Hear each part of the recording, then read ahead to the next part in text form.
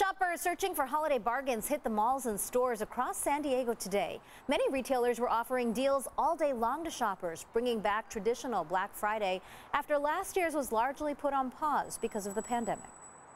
So we went by like the toy section and there's like a whole bunch of like people just running around. You know, they're having like two full carts. Yeah. Yeah. yeah people have like four or five carts and they're just two people carrying those two carts around. Some malls and stores are offering reward points and even giveaways to shoppers this holiday season as an added incentive. Analysts are predicting a record year for holiday shopping. Americans are expected to spend up to $859 billion. With Black Friday here signaling the start of the holiday shopping season, there are concerns about safety and security. There have been a series of burglaries at high-end stores across California over the last few days. News 8's LaMonica Peters tells us more about the governor's response to these brazen thefts and what you can do to stay safe while shopping. No one, including retailers, expects to be robbed while people are shopping. But in the last week, multiple stores have been hit, and now law enforcement is stepping up patrols and warning people to be on the lookout.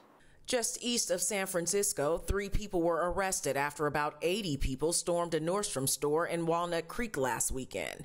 In Hayward, a group of burglars also smashed jewelry cases at Sam's, grabbing items and running out of the door. And on Wednesday, police say at least 18 people broke into the Nordstrom department store at the Grove in Los Angeles.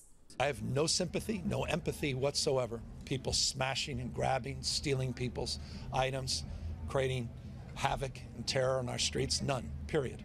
Full stop. Earlier this week, Governor Newsom said the state will help beef up security at local malls during the holiday shopping season. On July 21st, uh, we reestablished our retail theft task force. We put millions of dollars in the budget to develop stronger partnerships with cities and counties to address organized retail theft.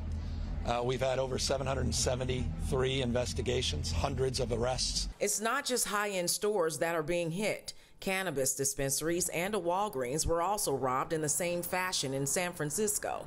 A spokesperson for AAA in San Diego says holiday shoppers should always do what they can to avoid being an easy target for thieves. Please do not keep packages, you know, new gifts or your belongings, even something like a cell phone charger in plain view from outside of the vehicle. Make sure you always lock your doors and you're closing your windows every time you leave the vehicle. While people should still enjoy the holiday shopping season, Shupe says the recent wave of burglaries is something everyone needs to think about. Be very mindful of what's around you and who may be watching.